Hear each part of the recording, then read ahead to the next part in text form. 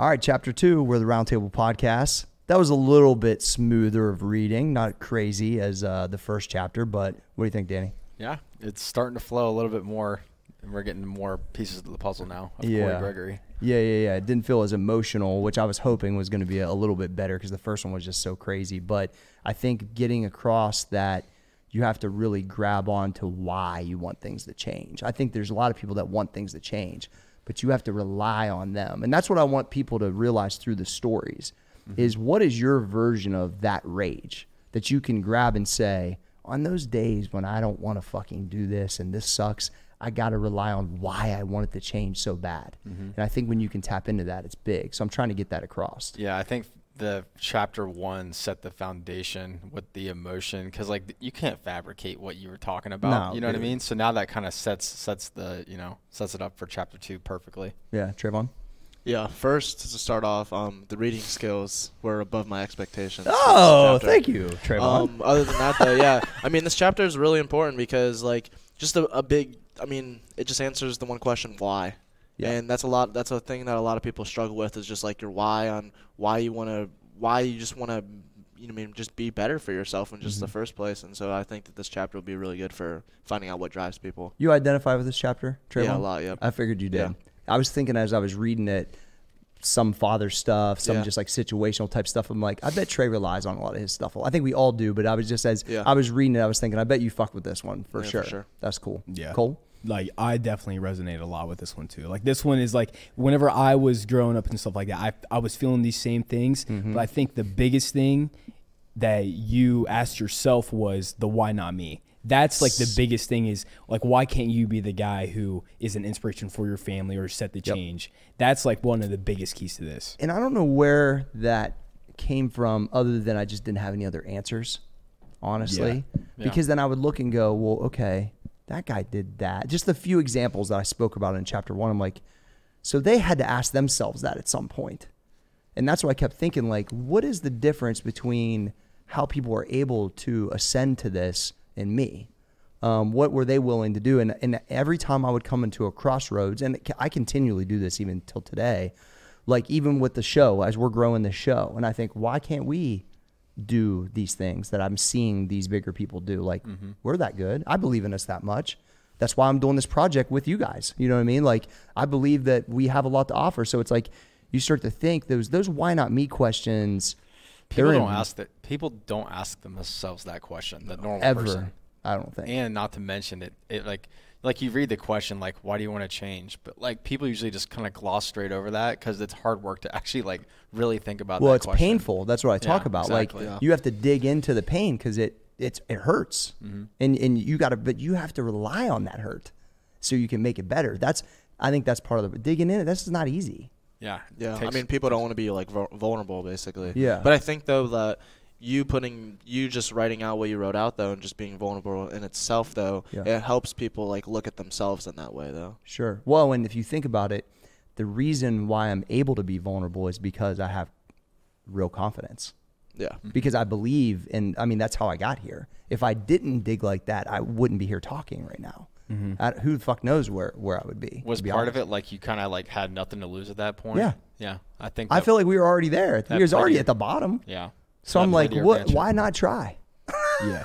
One one thing is like maybe you know maybe the p- person who's listening to this maybe they're not experiencing anything tough like that. Yeah. But them reading this, they'll know once they experience some hard shit. Yeah. They'll have in my mind like why like why the fuck is why am I not the guy stepping up and you know taking this next position? Like why not fucking me? So I think even if like they can't resonate with that deepness yet, at one point they will. Yeah, because everybody that's going to try anything difficult or try to create anything, they're gonna they're going to battle something like that that they're going to have to latch on to. Yeah. It's just the way it works because nothing just goes "Eh, Yeah. great, you know, And all the, time. The one thing you said literally right after you said why not me was no one's gonna fucking save you. And I think that's huge. Like no one's gonna put in the work for you. No one cares about you. It's all up to you. Well, I remember thinking this very young, like uh, the one situation which my mom's always a, little bit embarrassed about when we, we really couldn't pay the rent, we had to move like with my grandparents, and I remember thinking like, is no one coming to like help? And she was just on her own. I remember like I'll never forget it. she was just bawling and was so upset and she just felt like she didn't have a solution, right? And I was thinking to myself, like, who's gonna help us? And I'm thinking, like, no one's coming. I think you get that realization, like, I'm really on my own here. And I'm I was pretty young then, but like I started to realize like, hmm, I gotta quit thinking that there's some other fictitious dad's not gonna come back on a white horse and fucking save me. This person isn't gonna pay our bills. Like it's all my mom. And yeah, my grandparents would help when they needed to. That that's for sure. I, I'd never say they wouldn't because they always did. But like you really start to realize that, and that's how I process a lot of stuff now. When I'm hearing hate or doing stuff, I'm like, none of these dudes is paying my bills. None of these dudes is like like you process things differently when you realize like you can have a group of support, which we have an amazing one, but still your singular focus on your shit at home is on you. Mm-hmm. I can't save any of you guys. I can only help, right? And lend. But the reality is like the work that y'all put in is how you get there. And then it complements together as a team. I started to realize that I need to really go at this thing on my own, which is why it also felt really lonely at times, especially when I don't know one person that does the job I want to do. I don't know one person that is even try like I just didn't know I didn't really have any like any like people to really look to that could be give me like a path. Mm-hmm. So but that those questions I asked myself pretty young and then started to realize like that I was going to have to have like some real skills and, and rely on all these things in the tough times to make it through for sure. But people, yeah, people don't like to ask themselves those things. Yeah, I, it blows my mind that like you were thinking of this stuff like when you were 11 and 12 years old. That was like a little bit, that would probably been, uh, maybe Maybe that like, like 15 or is that probably like, yeah, 13, 14 Yeah. ish, 13, 14, 15, like in that Yeah, range. So I was, starting I was, a, mature. I was a little bit, yeah, a little bit more mature. And the other thing is when your parents work all the time and you're kind of on your own, you grow up a little faster. Mhm. I mean, that's just choice. that's just a fucking fact. Yeah, yeah, yeah. So I, I mean, I was like watching my sister when I was like 12, and she's like seven or eight. You know what I mean? So because my mom wasn't home from work yet, so I just think like those are things. I think I started asking myself more adult type stuff because I was kind of operating like a lot of my own because of the that was the, just what it was. Yeah. And so I think that that helped me a ton, which is also why I think my career probably progressed faster too. I was in situations pretty young, but handling them because I had grown up a little bit faster.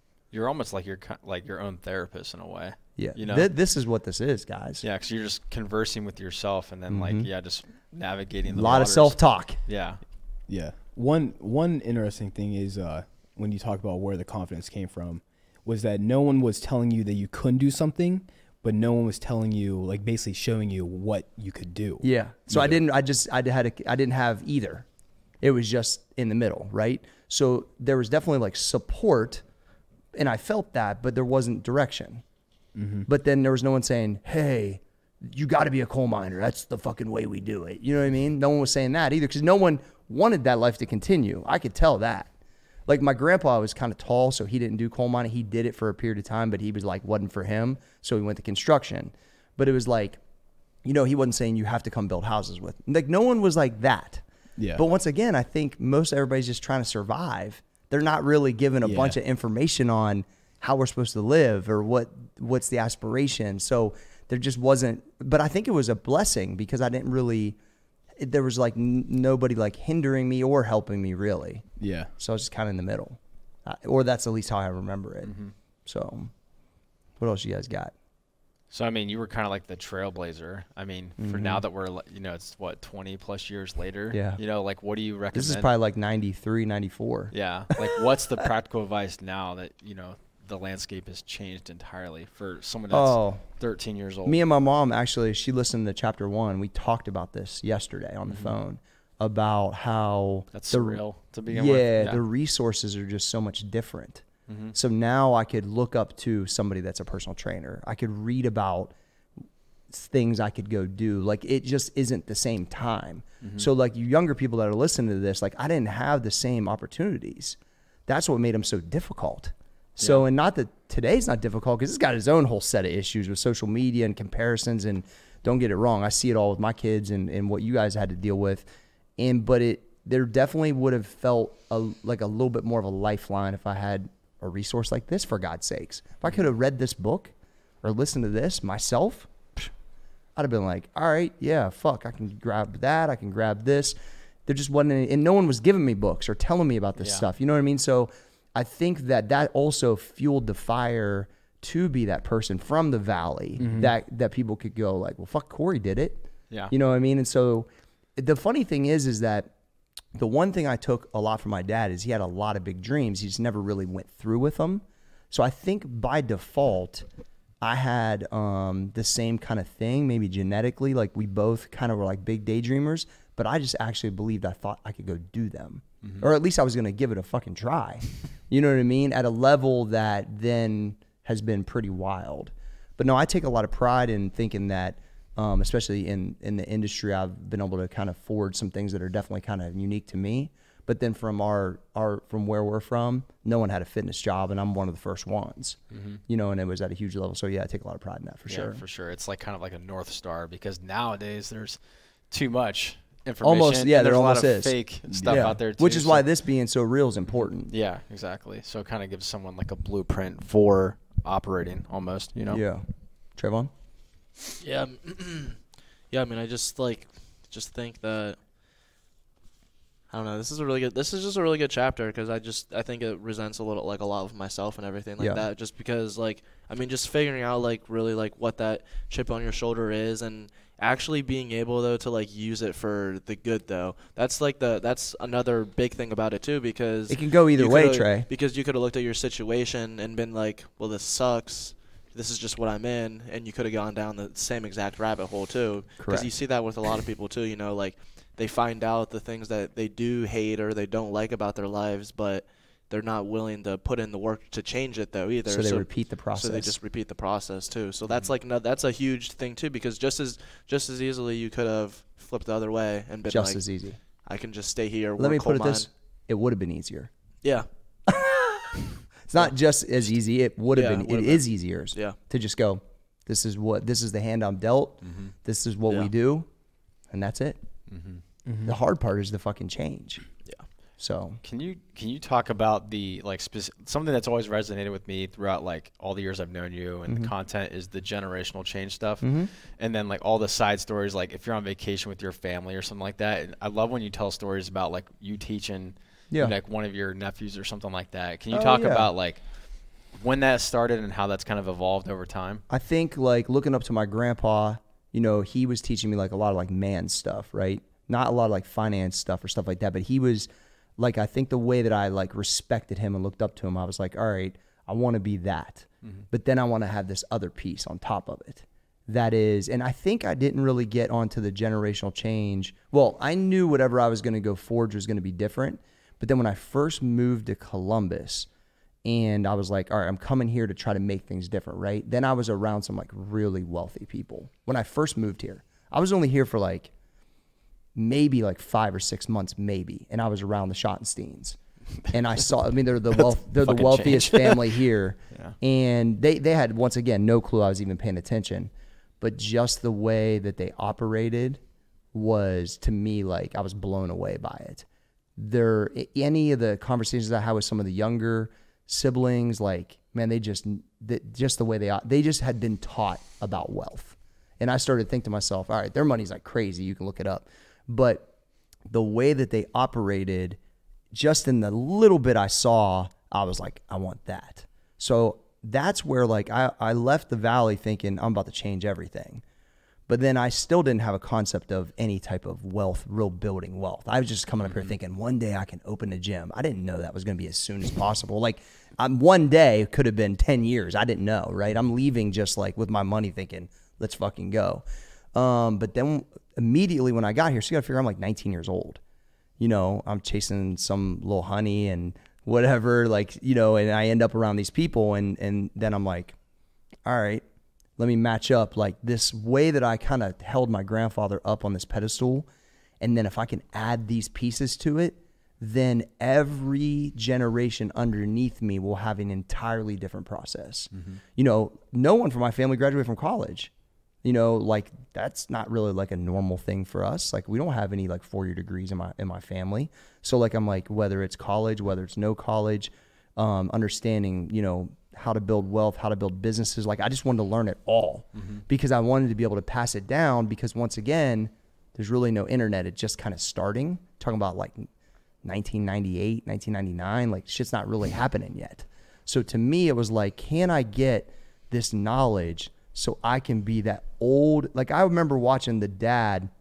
He's probably a grandpa now, but at that time, dude, I, I swear he was so rich, money was falling off of him when he was walking.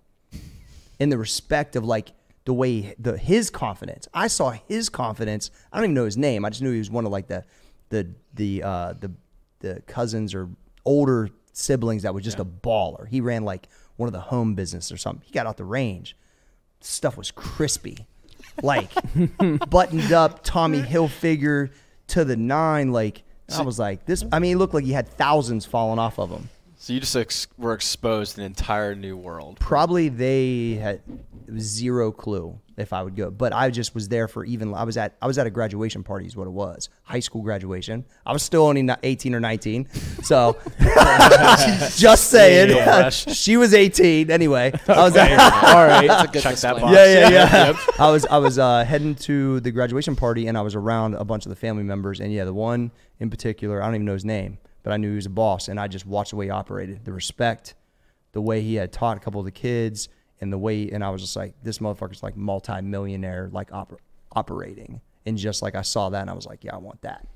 So yeah, all of these little things like contributed mm-hmm. to me coming up with in this, mm-hmm. you know, thing in my mind that everything's gonna be different after me. And then I think when you start to like say shit like that, Cole, Cole's I- hear me. yeah. Yeah. Oh, yeah. I've heard him start to say more stuff like that too. Like when you start to say that shit out loud, you believe it even more. And then I like the other people to hear it.